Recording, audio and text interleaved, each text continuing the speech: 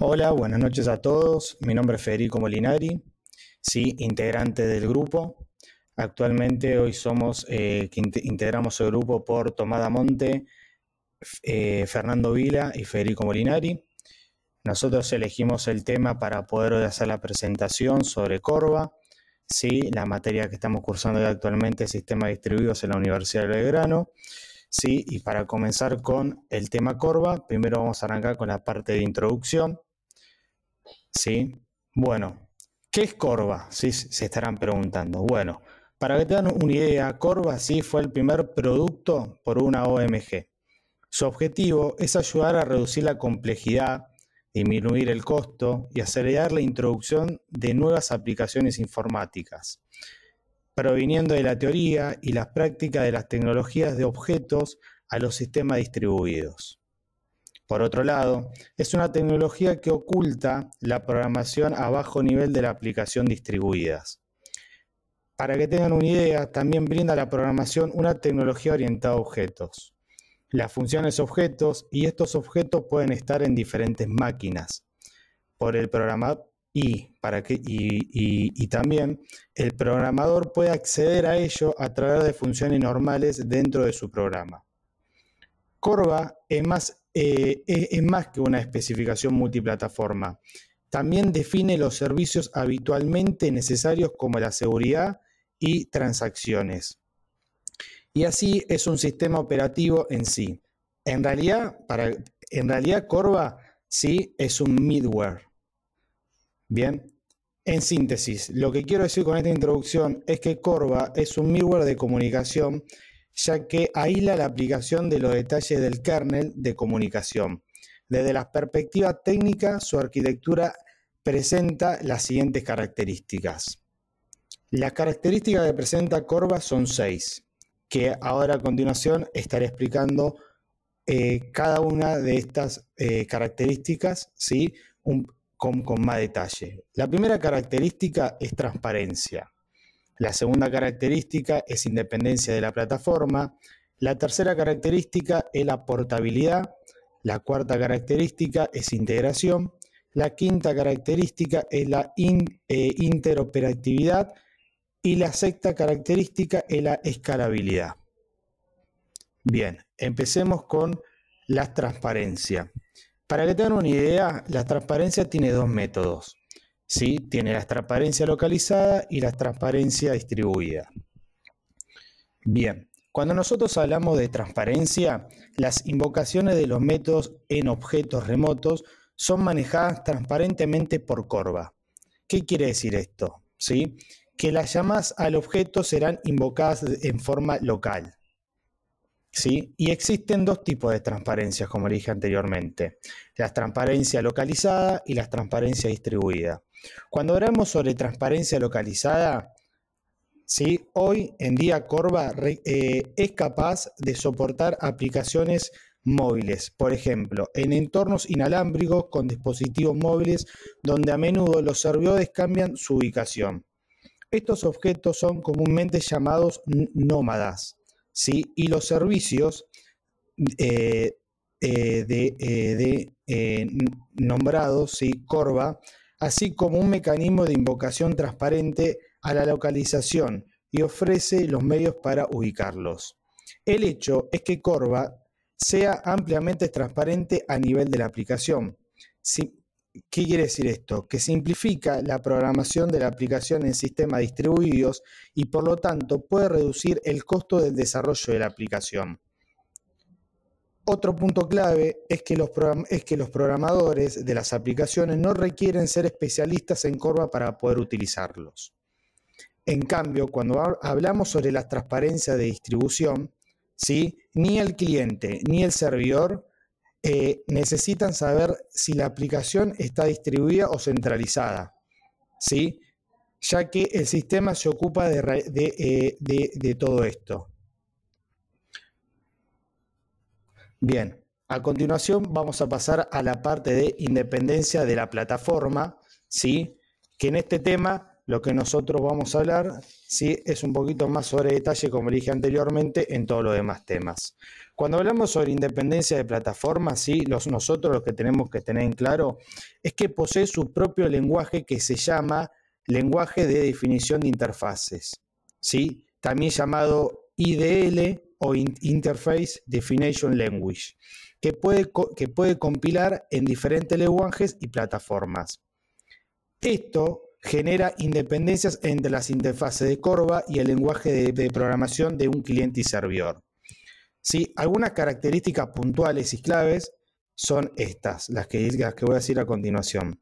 La independencia del lenguaje de programación y el sistema operativo, la posibilidad de interacción en diferentes tecnologías, y Corva fue, fue diseñado para liberar a los, eh, a los, ingenieros de las limitaciones en cuanto al diseño de software, ¿sí?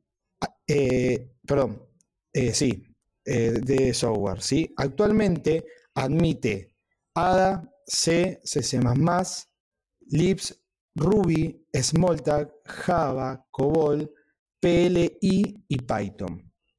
Los beneficios de la independencia de la plataforma es que la capacidad de invocar los métodos estáticamente conocidos cuando se compila el cliente y dinámicamente desconocidos cuando se compila el cliente, facilita la heterogeneidad de los lenguajes de programación.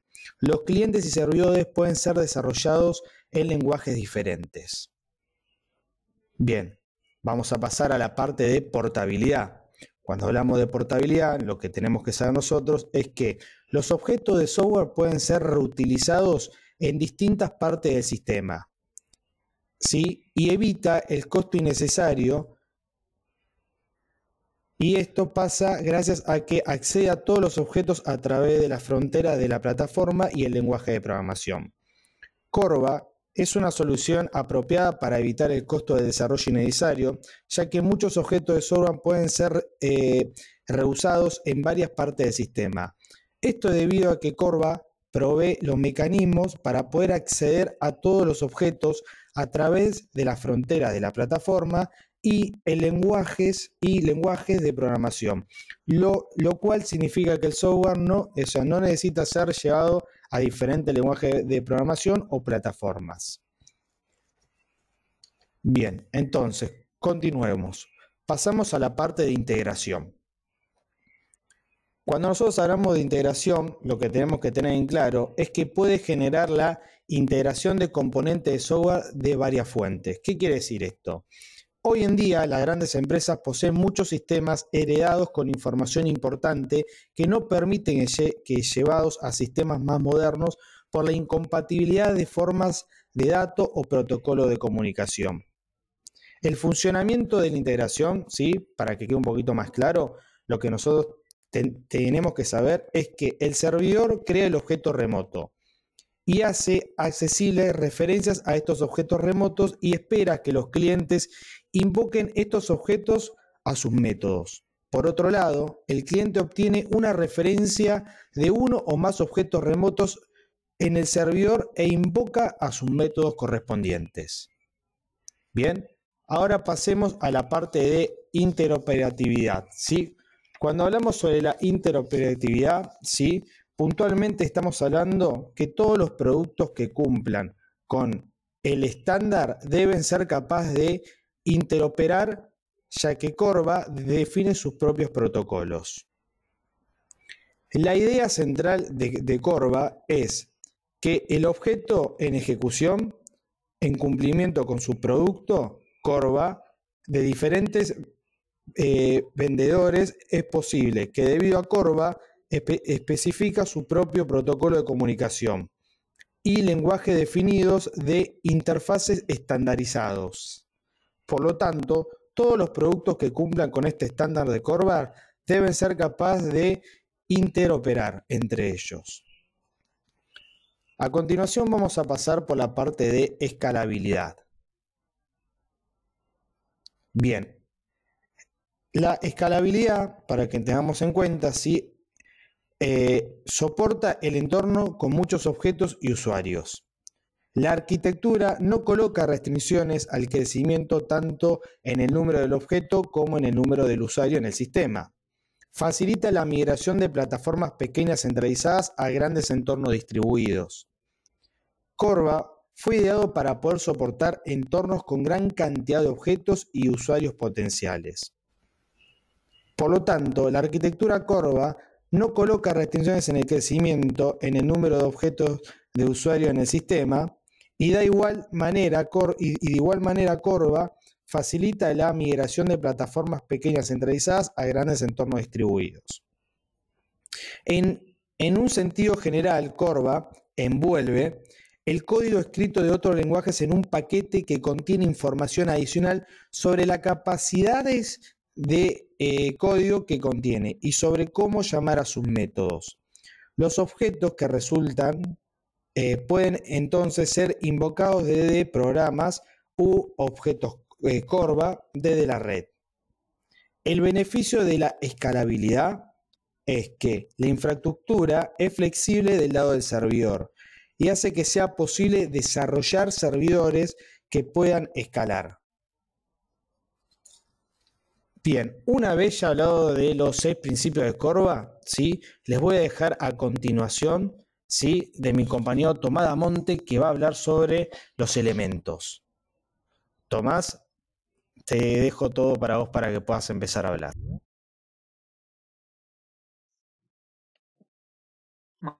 Gracias Fede.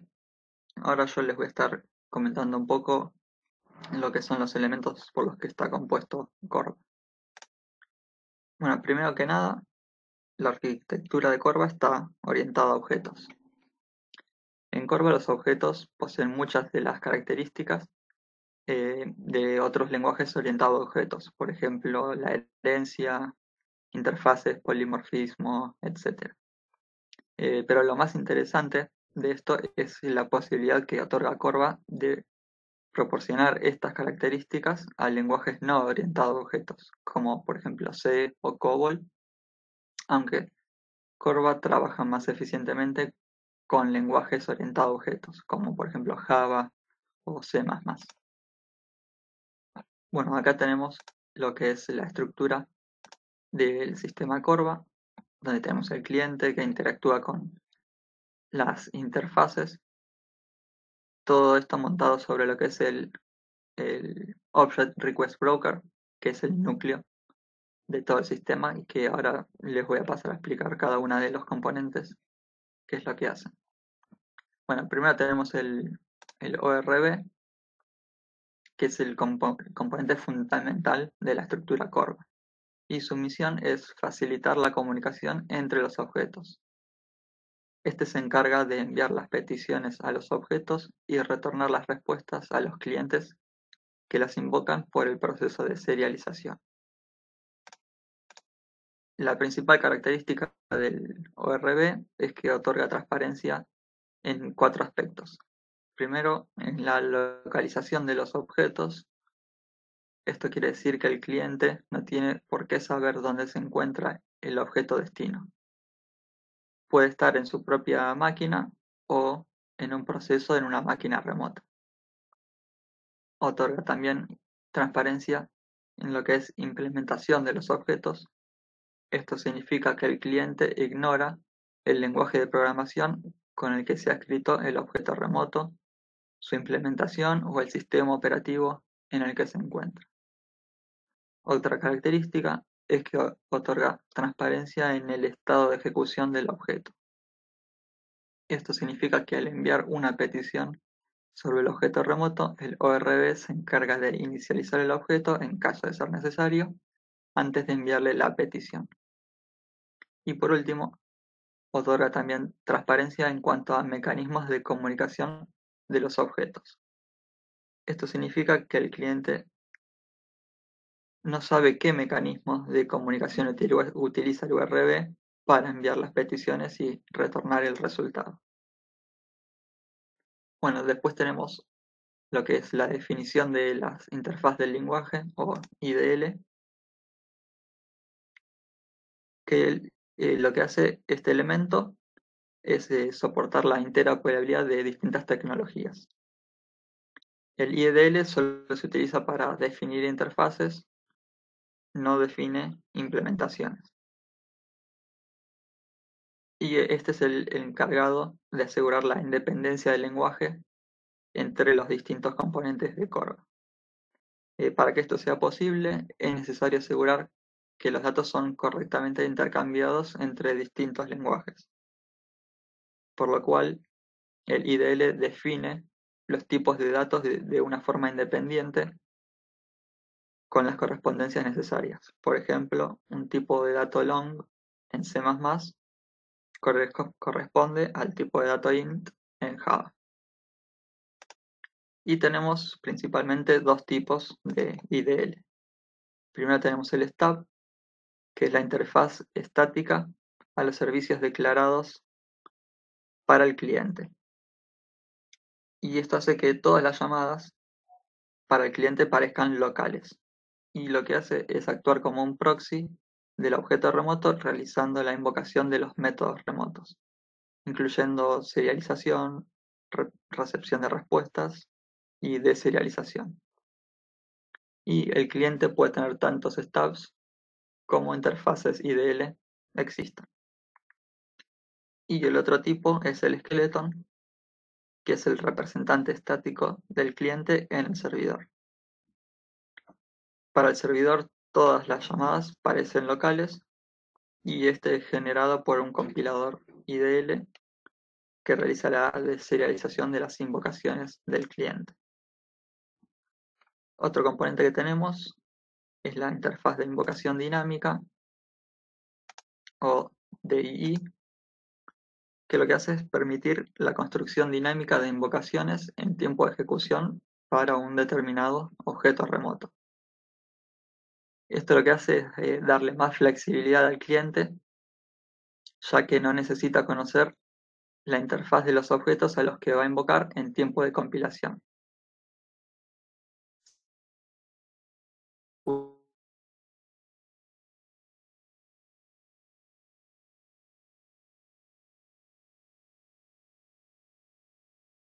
Puede especificar a través de una llamada a un, objeto, a una invocación o directamente los parámetros que va a pasar en la invocación.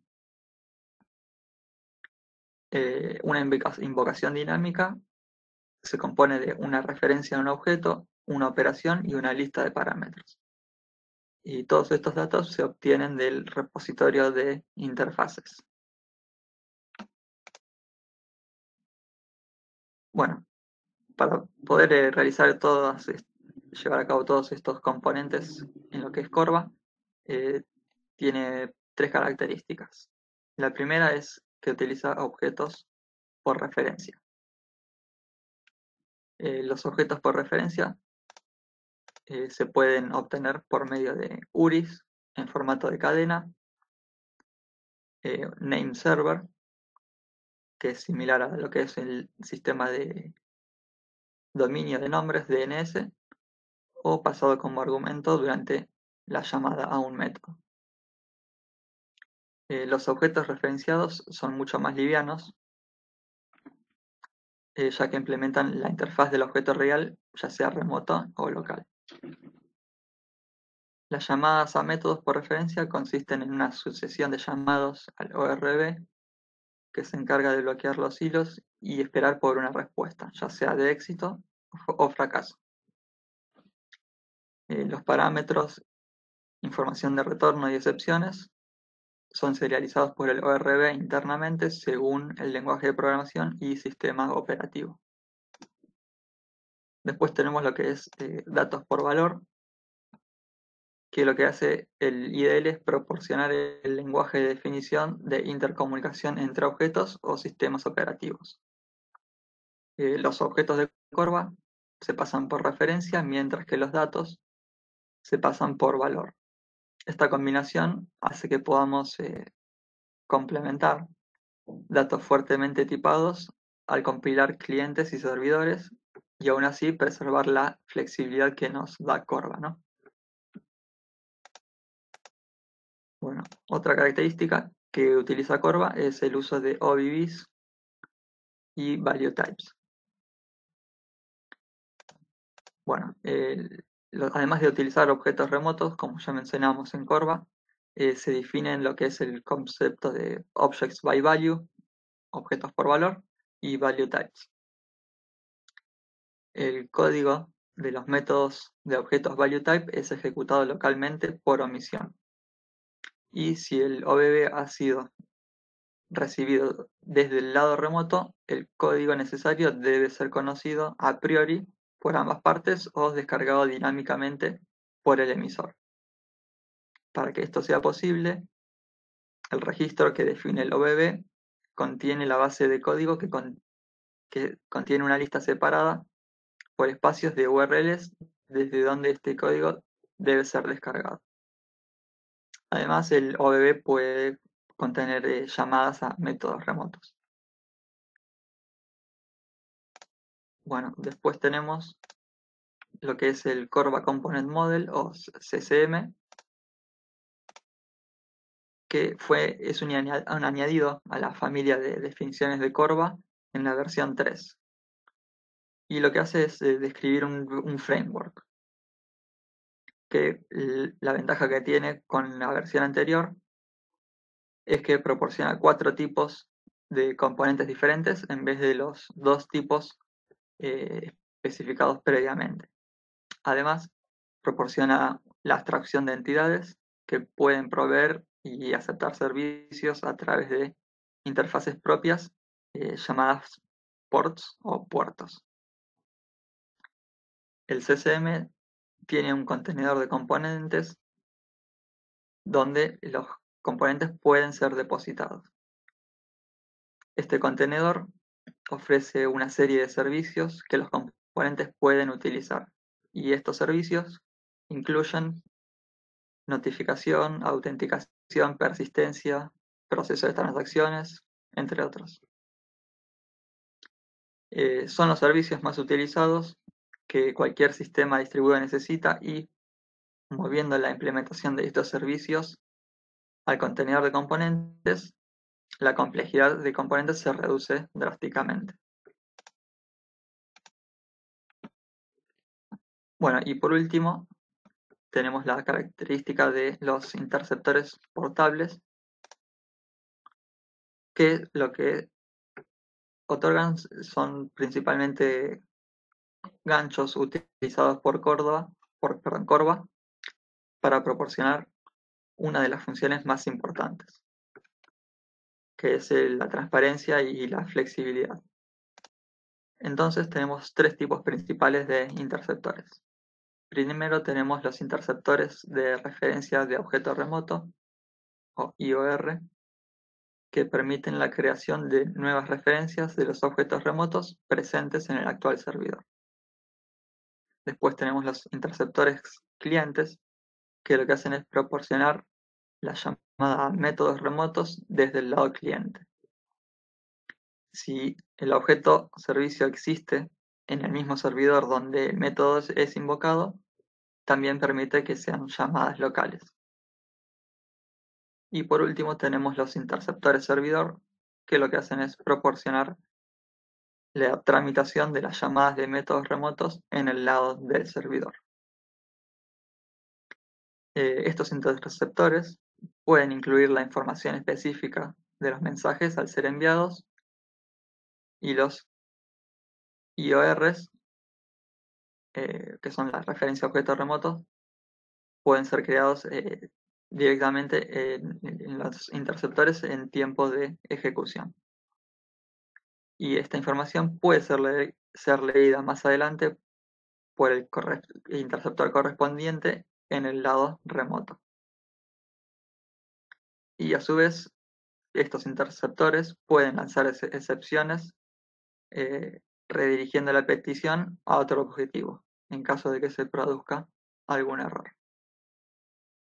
Bueno, ahora los dejo con Fernando que les va a estar hablando del siguiente tema de lo que es Corva. Gracias, Tomás. Bueno, a continuación yo le voy a estar hablando un poco de, cómo es la comunicación entre los distintos elementos que estuvo describiendo mi compañero. Em, bueno, en primer lugar vamos a hablar del modelo GIOP.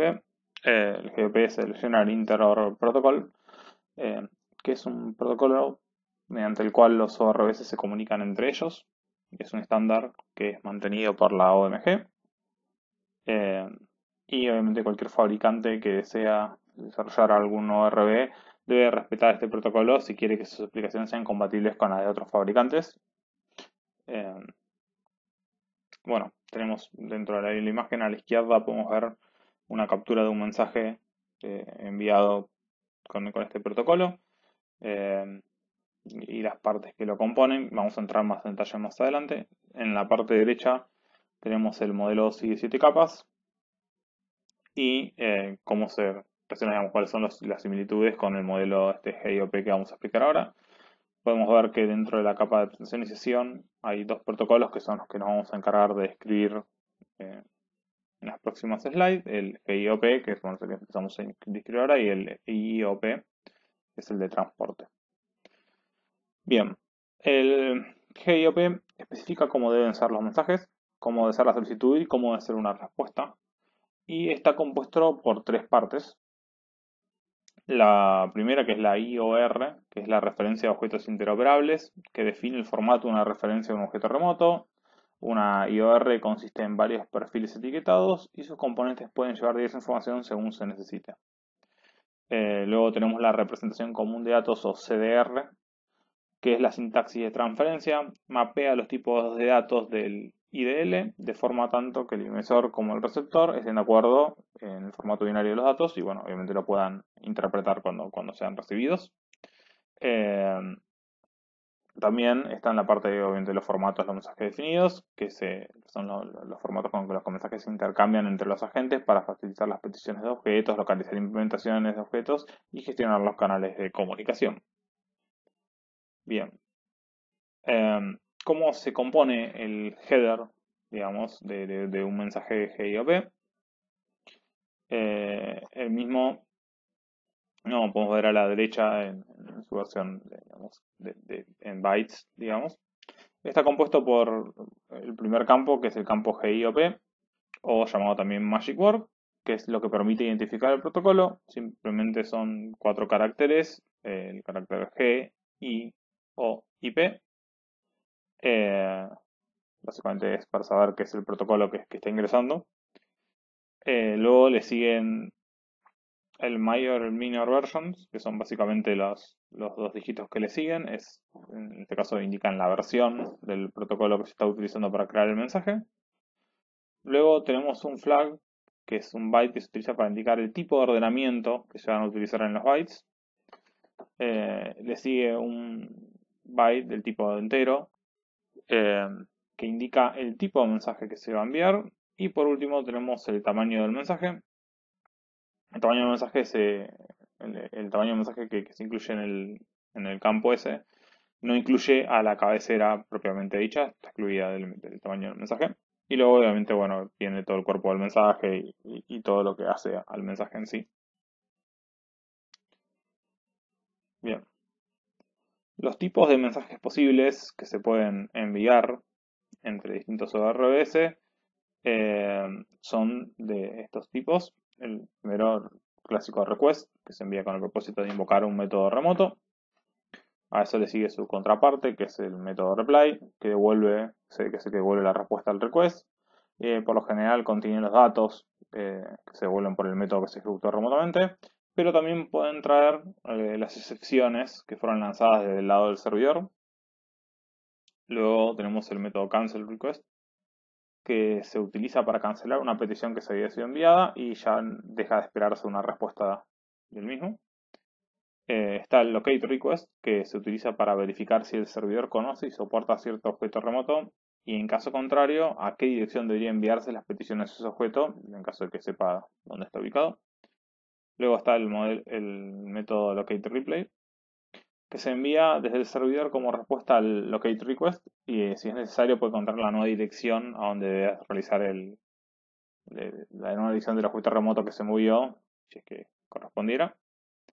Luego está el close connection, que lo envía desde el lado del servidor eh, y ya indica, le indica al cliente que no va a recibir más respuestas de parte de él en el futuro. Luego tenemos el message error, que si bien habíamos visto ya que en el reply venían errores, este em, se encarga de, responder a los mensajes que están que no son válidos o tienen un formato erróneo o están mal formados. Em, pero no se utiliza para enviar los errores del sistema. Para eso se envían siempre por el, por el mensaje de tipo reply. Y por último tenemos el fragment, que es un mensaje que, indica que es un mensaje posterior, digamos. Básicamente eh, se envía para cuando hay que mandar mensajes de gran volumen. Fragment les va a ir, va a ir indicando que hay cómo es la sucesión de mensajes. A la derecha podemos ver una captura de, un paquete del tipo request, eh, eh, se captura con el Wireshark, y donde podemos ver todas las partes que, habíamos, que habíamos hablado antes. Podemos ver cómo se encuentra el magic number, que eran las, siglas GIOP, la versión, que en este caso es 1.2, el flag de el flag de, cómo se van a ordenar los, los datos, el tipo de mensaje y el tamaño del mensaje.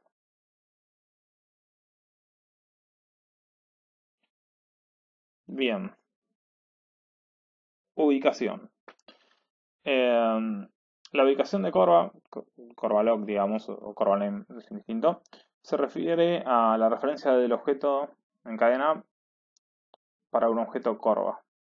Eh, es similar a, una URL, como podemos ver en los distintos ejemplos.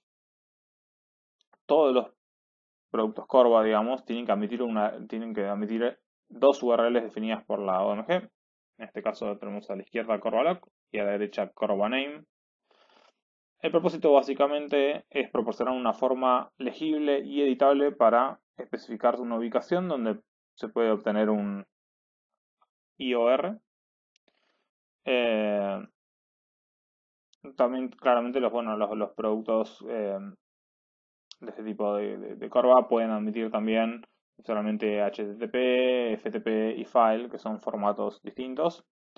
Eh, y bueno, la semántica de esto proporciona básicamente el detalle de cómo descargar un IOR en, cadena de forma recursiva, descargar otro URL o eventualmente digamos, trabajar con eso.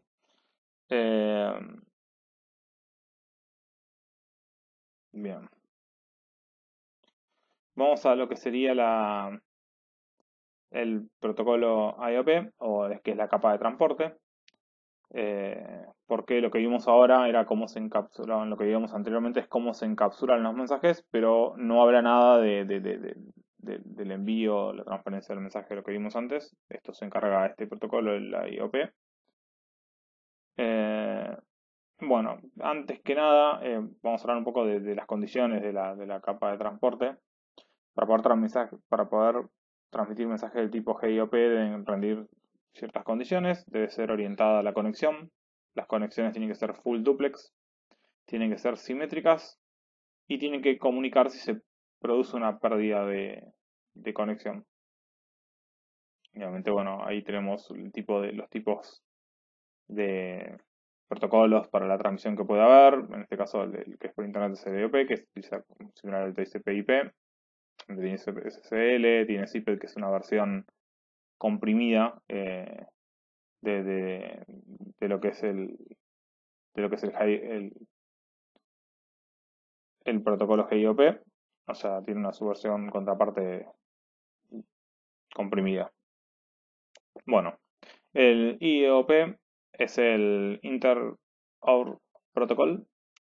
Eh, especifica cómo se intercambian los mensajes GIOP utilizando las conexiones TCP/IP.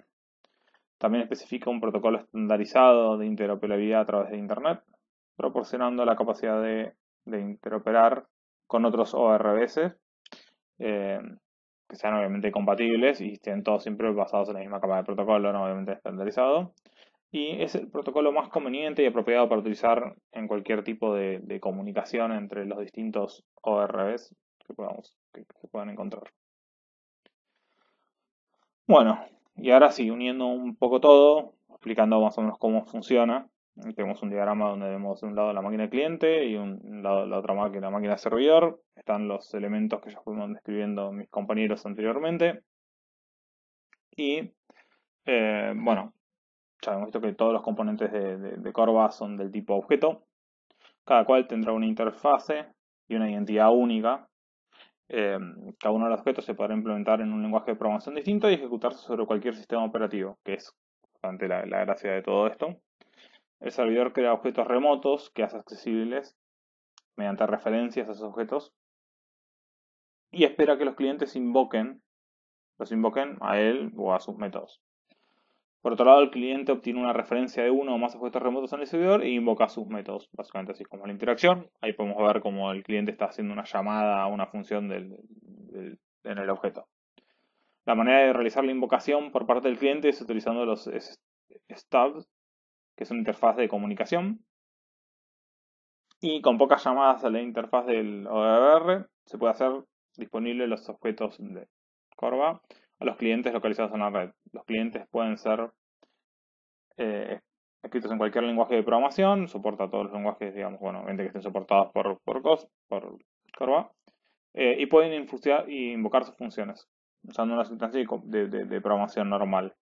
Eh, esto se puede hacer ya que cada objeto Corva tiene una interfaz bien definida, que está especificada con el lenguaje de definición de interfaces de Corva, IDL, eh, y la definición de la interfaz específica eh, especifica qué funciones miembro están disponibles al cliente sin hacer ninguna suposición sobre la implementación del objeto. O sea, no se sabe cómo están hechos internamente, simplemente disponibiliza los, los, métodos.